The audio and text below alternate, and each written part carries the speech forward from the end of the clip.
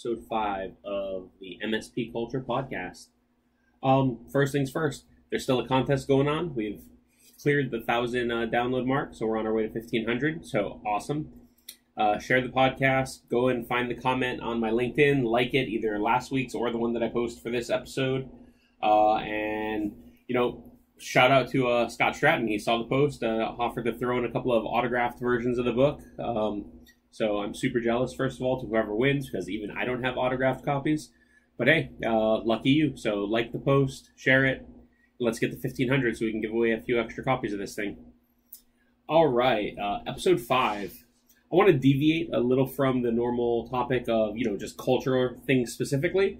Uh, talk about uh, what's obviously a hot topic in the news right now: the coronavirus and its impact to managed service providers. So, I think the most obvious thing that's happening right now is outside of the general health concern is a demand for remote work.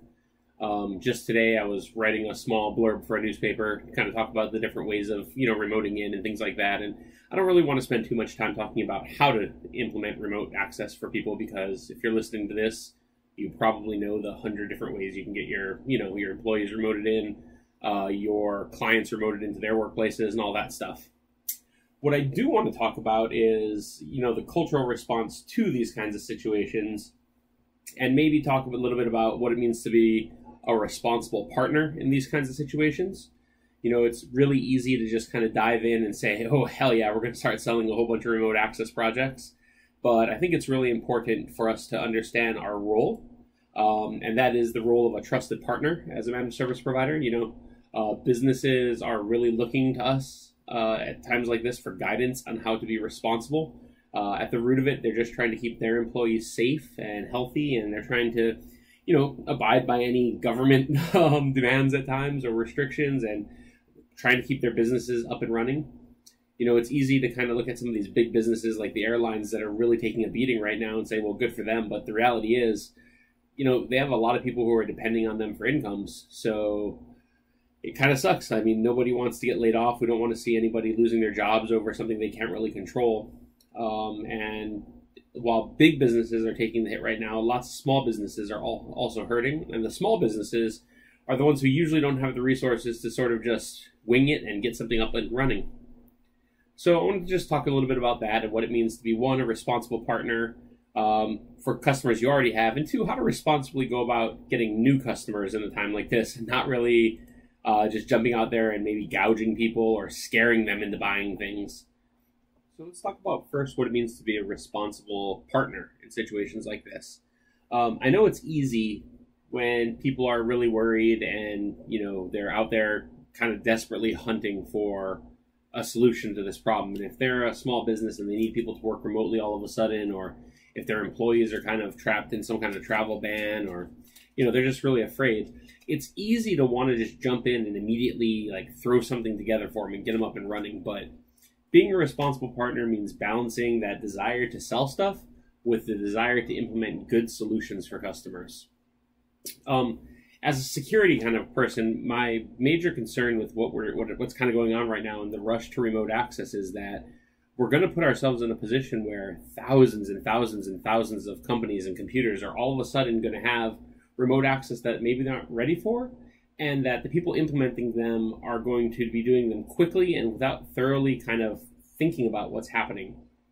I often kind of talk about the idea that you know uh, rising tides lift all ships, and what I kind of mean by that is that you know the bigger MSPs and the more mature organizations have a responsibility to our community, and it's it's unfortunate because a lot of times it's easy to be a small one or two man managed service provider or quote unquote managed service provider who's out there just trying to get stuff done and slam stuff into client networks because you're really just trying to get any sale you can.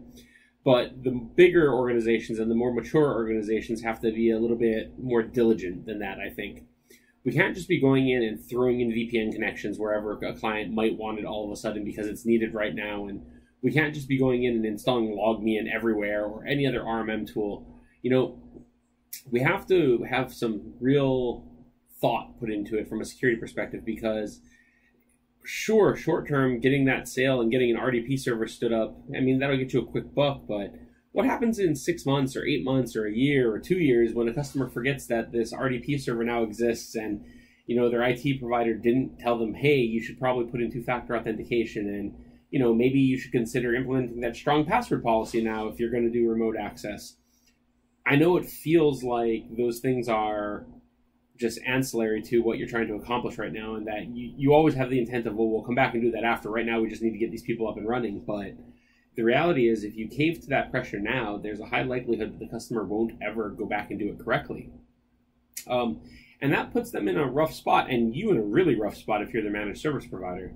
The number of like remote desktop servers that I've seen compromised because somebody left an account just unprotected or with a weak password or you know the owner of a small business just didn't want to take advice and they just decided to keep a real simple password and then they insisted on remote access is it's crazy. I mean and it's happening more and more. Don't be the company that implements these services only to find out that they get cryptoed in a month or two months because now all of a sudden there's a very easy way for somebody to breach their network this gets even more and more important in any type of compliance situation. I mean there's no business that is going to do well by being you know ransomware or breached by somebody but when you start talking about like small doctors offices or medical facilities or you know uh, pci compliant organizations that have payment systems or you know anything like that i mean i'm from hawaii so we have a lot of dod people so nist comes into play a lot. And all these contractor companies that are just trying to get stuff done and get their people working and you know meeting these deadlines right now especially we're rolling into tax season so or we're in the middle of tax season. So all these CPA firms that are scrambling to get things done and trying to deal with their employees maybe not being able to come in, they're all going to be desperate to get this access up and running as quickly as possible. But you, as the mature provider and the trusted partner, have to be there to say, hey, we're going to get this done for you, but we have to do it the right way. Uh, the book Getting Naked, I like that book a lot. Look it up. Um, talks about like the kind truth. I think this is one of those instances where you have to tell the kind truth to clients, which is I know you want this and I know this isn't the easiest way, but we need to do it the right way for long-term success. And I think if you're unable to do that, you should really evaluate what your position is in this market.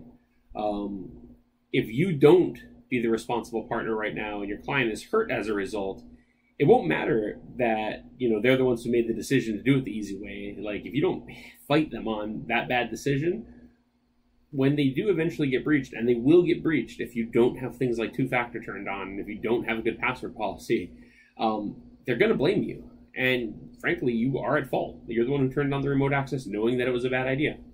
So, kind of you know, uh, hold back a little. Maybe don't rush to every sale and help clients understand and work through that state of panic to get them where they need to be. Remember that if we're going to be implementing things like VPNs, that you should also probably have some type of security policy in place to restrict what devices are remoting in over that VPN or where that connectivity is coming from. If you're going to do something like remote desktop, understand that you do need things like two-factor authentication in all of these and you do need, you know, a secure environment for people to remote into um, don't rush people into cloud storage. I mean, when you start migrating people from their on-premise servers, and you know, it's easy to say, yeah, we'll just take this whole file share and throw it up into SharePoint, but look at how permissions are structured. Look at how folders get migrated over. Just take the time to make sure that once you migrate that data, you didn't do more damage than you were going to otherwise.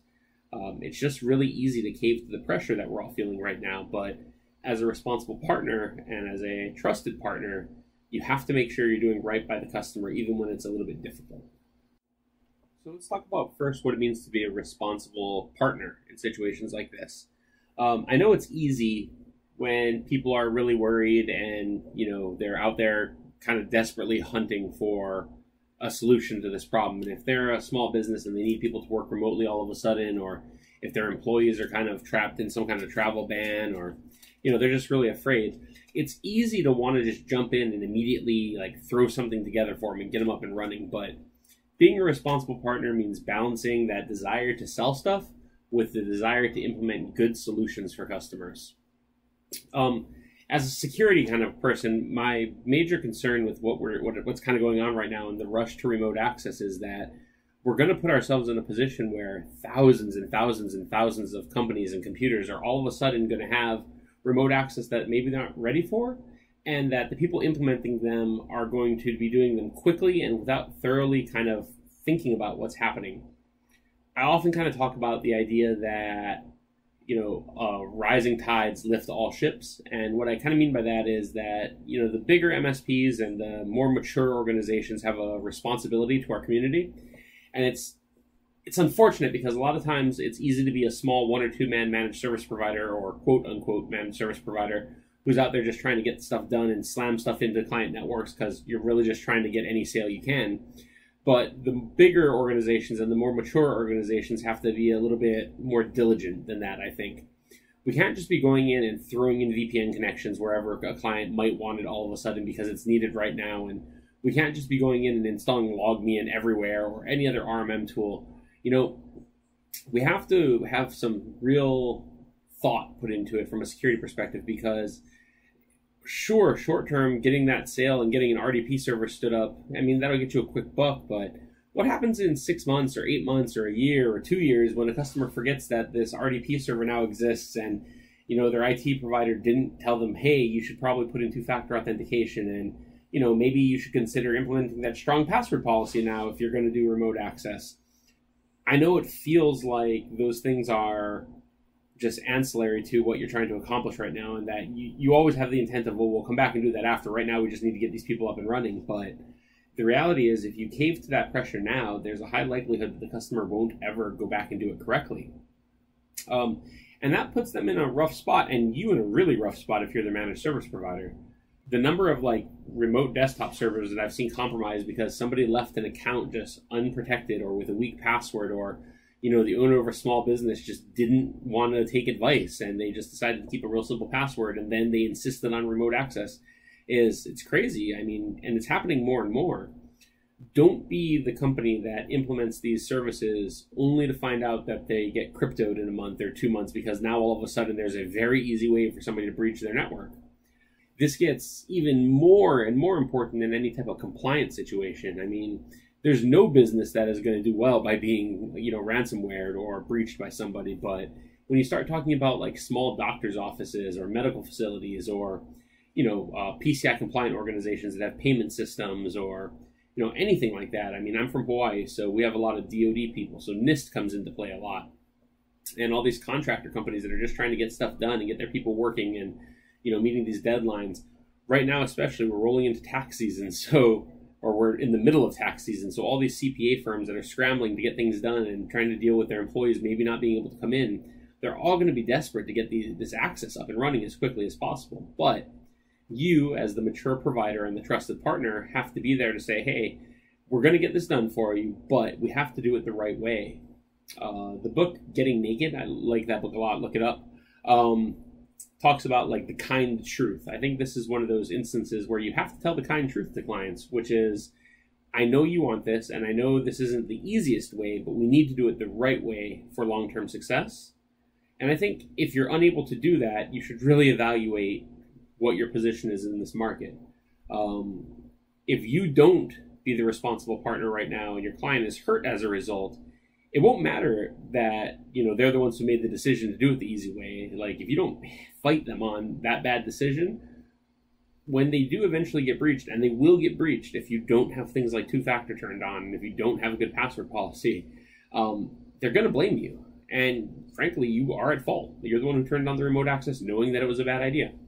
So, kind of, you know, uh, hold back a little. Maybe don't rush to every sale and help clients understand and work through that state of panic to get them where they need to be. Remember that if we're going to be implementing things like VPNs, that you should also probably have some type of security policy in place to restrict what devices are remoting in over that VPN or where that connectivity is coming from. If you're going to do something like remote desktop, understand that you do need things like two-factor authentication in all of these, and you do need, you know, a secure environment for people to remote into. Um, don't rush people into cloud storage. I mean, when you start migrating people from their on-premise servers, and you know, it's easy to say, yeah, we'll just take this whole file share and throw it up into SharePoint, but look at how permissions are structured. Look at how folders get migrated over. Just take the time to make sure that once you migrate that data, you didn't do more damage than you were going to otherwise. Um, it's just really easy to cave to the pressure that we're all feeling right now, but as a responsible partner and as a trusted partner, you have to make sure you're doing right by the customer, even when it's a little bit difficult. All right, that's going to about wrap up uh, episode five. You know, um, keeping this one a little bit shorter, but check out my LinkedIn. I'm probably going to publish an article in the next few days to dive in a little bit more about a general best practices for you know remote access for employees. Uh, like I mentioned, I wrote a little blurb for our Honolulu Advertiser, so that'll be getting published in the next couple days. I think I don't know. Um, but I'll probably publish something a little bit more in depth right around the same time that is published in the newspaper. Um, yeah, and definitely check out my LinkedIn and hit like on some of those comments, share the podcast. Let's get above 1,500 downloads so we can give away more than one copy of the book. And other than that, appreciate you tuning in and have a great night. Uh, stay safe out there, everyone.